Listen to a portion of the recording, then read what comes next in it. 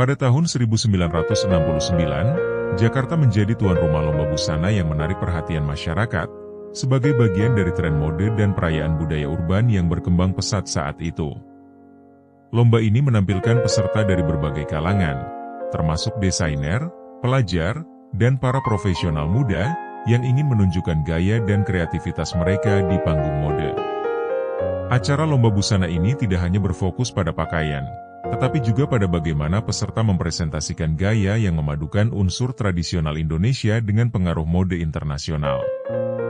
Pakaian seperti kebaya, batik, dan kain tradisional ditampilkan dengan sentuhan modern, memberikan warna baru bagi gaya berpakaian di kota metropolitan seperti Jakarta.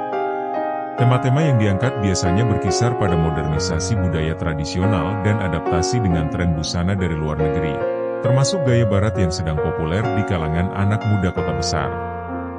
Lomba ini dihadiri oleh tokoh-tokoh mode, selebritas, dan desainer lokal yang turut memberikan apresiasi pada para peserta. Selain menjadi ajang bagi masyarakat untuk mengekspresikan diri, Lomba busana di Jakarta tahun 1969 ini memperlihatkan minat masyarakat Indonesia terhadap mode dan menjadi awal dari perkembangan industri fashion di Indonesia yang semakin kuat pada dekade-dekade berikutnya.